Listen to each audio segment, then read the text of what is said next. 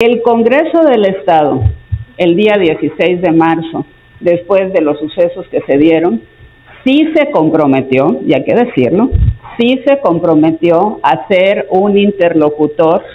entre el Poder Ejecutivo y los policías que se habían manifestado. Tanto fue así que no solo tuvimos la comparecencia o la reunión de la secretaria con la Comisión de Procuración e Impartición de Justicia, sino los integrantes de esa comisión visitaron la Policía Estatal e hicieron ahí una serie de encuentros y de acercamientos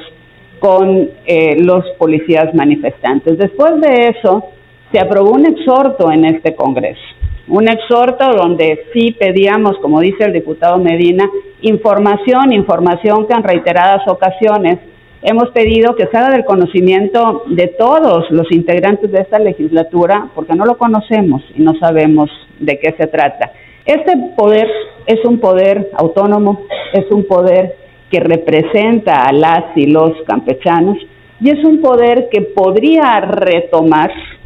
lo que nos comprometimos a hacer en el mes de marzo, hacer precisamente esos mediadores sin condicionamientos de ninguna naturaleza, pero sí con la firmeza de que podemos ejercer esa facultad, pero sobre todo que debemos de resolver un problema que está afectando a la ciudadanía, porque la está afectando. No hay policías en la ciudad. Y eso, señoras y señores, y no solo en la ciudad, no hay policías en todo el estado. Y eso, señoras y señores,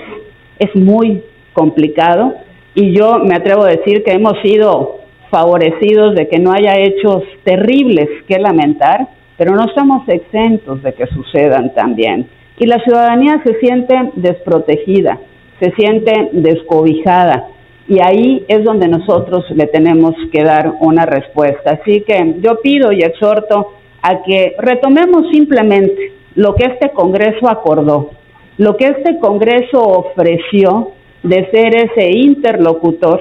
entre el Poder Ejecutivo y los policías inconformes y buscar la pronta solución, que es lo que todos queremos.